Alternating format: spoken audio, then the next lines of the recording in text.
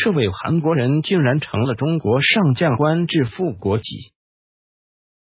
解放军上将赵南起的人生是一部精彩的传奇。他本不是中国人，而是与中国相邻的韩国人。他在中国几十年，军衔达上将，官至副国级，堪称一大奇事。一九二七年四月二十日，赵南起出生朝鲜中清北道（今韩国中清北道清源郡），家中排行第四。父亲赵龙九是位爱好儒家文化的读书人，爷爷赵东直一直受当局监视，是朝鲜昭明三一反日运动领导人。一九一九年三月一日，朝鲜爆发大规模反日殖民统治的爱国运动。赵东直是清源郡的主要筹划者，不久被日本殖民当局逮捕，关进汉城大同门监狱。但他绝不与日本人妥协，被长期关押，最后带着一身伤病走出牢房。回到家里后，他仍受严密监视，并几次被拘禁。可岁月流逝，他的反日情绪有增无减。一九三九年冬，由于受当局迫害。加上债务高筑，赵龙九于一个黑夜带上父亲和全家离开清源郡出走，四下流浪，然后于一九四零年初进入中国境内，随后在吉林省永吉县岔路河一个朝鲜族村落佛堂村定居下来。此时赵南起才十三岁。过了半年时间，赵东直因思念家乡，决定返回朝鲜。他已年过七旬。结果由赵南起的弟弟赵南元护送爷爷回国。本来父亲赵龙九是准备让年长一些的赵南起送爷爷的。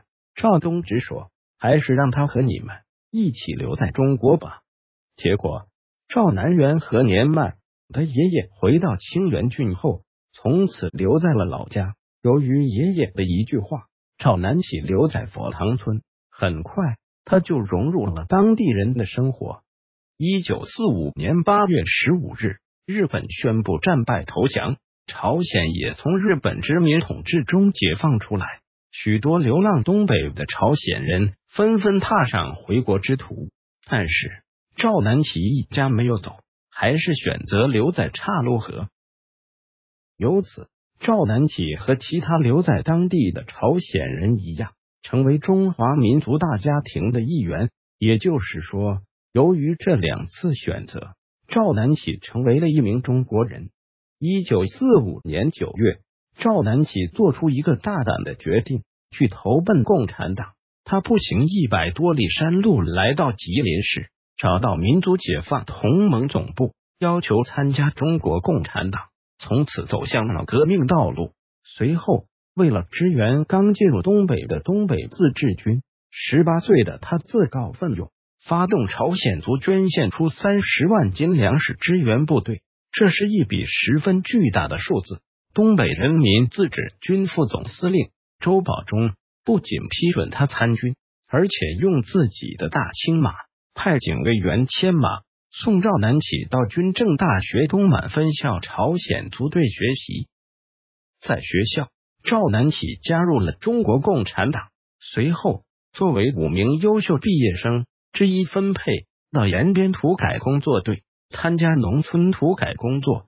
不久，他被地委书记孔元曾与邓小平夫妇一起于延安在毛泽东窑洞前结婚，选调到延边地委当了一名管理员。一年后被提拔为地委机关总务科长。一九四九年七月，赵南起调到吉林省委政策研究室担任农业工作组研究员。按照这个工作轨迹下去，赵南起很可能成为一名农业专家。但是命运之神再次改变了他的人生方向。一九五零年六月二十五日，朝鲜半岛爆发内战，美国站在南方李承晚政府一边，出兵入侵朝鲜，并威胁新中国的安全。不久，赵南起调至援军前方指挥所。担任作战科联络员，负责翻译和联络工作。十月二十三日，随总部入朝参战。这时，赵南起尽管才二十三岁，但已是一名正团级干部。一九五一年一月二十五日，中朝在玉泉洞举行两军高级干部联席会议。赵南起在会务组负责接待朝方高级干部，并担任翻译工作。以此，志愿军总司令员彭德怀和朝鲜副首相朴宪勇进行会谈，由赵南起担任翻译。朴宪勇见他朝语说的很流利，十分惊讶，问道：“你是朝鲜人吗？”“不，我是中国的朝鲜族人。”赵南起回答他。我以前在吉林省委工作，战争爆发后才调到了志愿军总部。原来是朝鲜族同志。胡宪勇笑问彭德怀：“我们现在很缺干部，特别是需要既懂军事又有地方工作经验的干部。如果我把这位朝鲜族干部留在朝鲜工作，你不反对吧？”彭德怀回答说：“这要看工作需要的。”也要看他本人的意愿。我虽是志愿军司令员，也不能搞官僚主义。谁知朴宪勇看上了赵南起，并且对此事上了心。几天后，又向彭德怀提起此事。彭德怀觉得事情严重了，于是正式叫来了赵南起，征求他本人的意见。在总部几个月中，赵南起多次为彭德怀当翻译，且两人经常见面。彼此很熟悉，在谈话中，彭德怀详细询问了他的地方工作经历，然后认真的说：“你和我说老实话，你到底愿不愿意回朝鲜工作？如果你同意，我马上做安排。这是组织上的决定，与你个人无关。”赵南起已决心做一名中国人，于是态度坚决的回答：“彭总，我对在智司的工作非常满意。”如果到朝鲜工作，各方面情况都不熟悉，困难很多。希望您批准我继续留在志愿军，将来打完仗就回国。我不愿意到朝鲜工作，这是你的真心话吗？彭德怀问道。当然，赵南喜说，我以共产党员的名义向你和组织上保证。彭德怀听完，重重的拍了拍赵南起的肩膀，说：“好吧。”这件事情我来处理。好干部在哪里工作都会有所作为。你这样年轻就是团级干部，很有前途，好好干。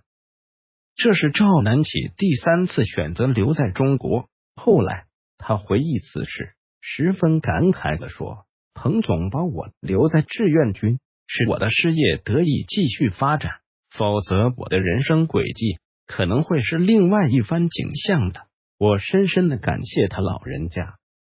确实，赵南起的人生因此而变得很辉煌。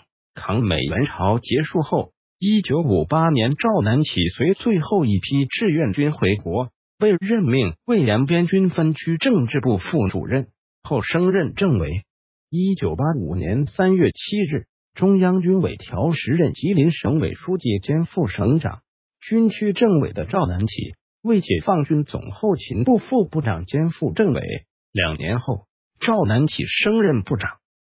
一九八八年四月九日，根据军委主席邓小平的提名，赵南起被任命为中央军委委员。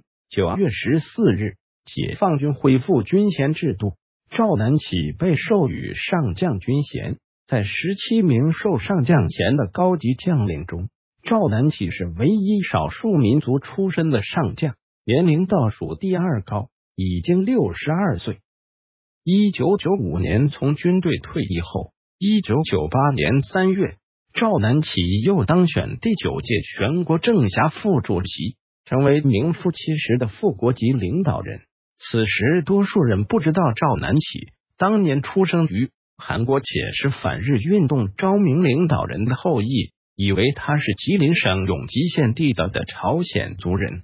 至于他的出生的韩国，由于多年与新中国处于隔绝和无外交关系状态，一九九二年八月，中国与韩国才正式建立大使级外交关系，结束两国长期互不承认和相互隔绝的历史。知道赵南起本是自己同胞的人，更是少之又少了。二零零零年四月，赵南起率领中国代表团访韩，访问之余，他回到了离别几十年的家乡韩国中清北道。这时，赵南起已是年过七旬的老人，且是中国副国级领导人、全国政协副主席。他访问韩国的消息在新闻中播出，立即引起韩国朝野一派轰动。不少人对这位同胞的传奇经历惊愕不已。作为东道主，韩国政府更是尤为重视，以最高礼节欢迎这位在中国成长并取得杰出成就的老乡。当赵南起离家六十多年后，第一次回到清源郡时，当地人扶老携幼，以最隆重的民族礼节载歌载舞迎接他。赵南起深深的被浓浓的乡情感动。拿出特意从中国带去的茅台酒，以当地风俗向乡亲们一一敬酒，共祝家乡繁荣昌盛，中含友谊长存。他重病期间，朱镕基总理和温家宝总理等众多中央领导，还有钱学森、钱伟长等德高望重的科学家都前来看望慰问他。二零零六年十一月二十日。他因病医治无效，北京逝世。胡锦涛主席等众多中央领导亲自为其送葬。